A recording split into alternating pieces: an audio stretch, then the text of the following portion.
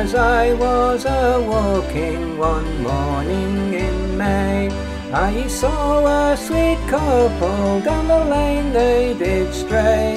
How one was a fair maid as you ever did see, and the other was a soldier and a brave grenadier. But they kissed so sweet and comforting as they clung to each other. They went arm in arm down the road like sister and brother. They went arm in arm down the road till they came to a spring. And they both sat down together just to hear the nightingale sing. How out of his knapsack a fiddle he drew, and he played just such merry tunes as ever she knew. He played her such merry tunes, made the valley to ring. Hark, hark, said the fair maid, I hear the nightingale sing. And they kissed so sweet and comforting as they clung to each other.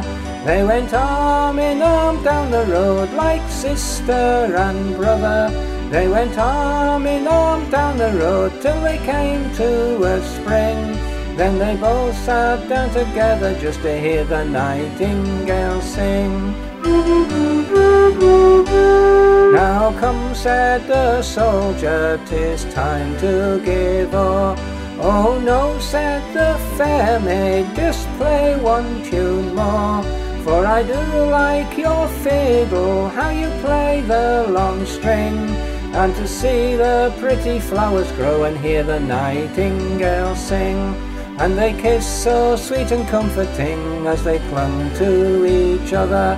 They went arm in arm down the road like sister and brother. They went arm in arm down the road till they came to a spring. Then they both sat down together just to hear the nightingale sing.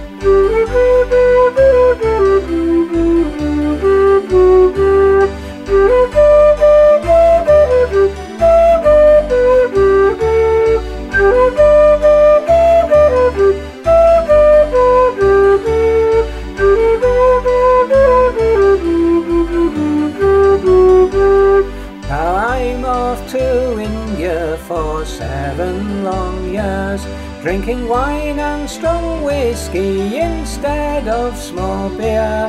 But when I return again, it will be in the spring, and we'll both sit down together, love to hear the nightingale sing.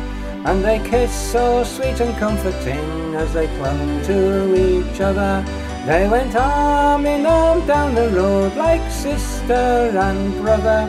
They went arm in arm down the road till they came to a spring. Then they both sat down together just to hear the nightingale sing. Now, now, said the fair maid, will you marry me? Oh no, said the soldier, that just cannot be. For I have a wife of my own in my own country, and she is the prettiest little thing that you ever did see.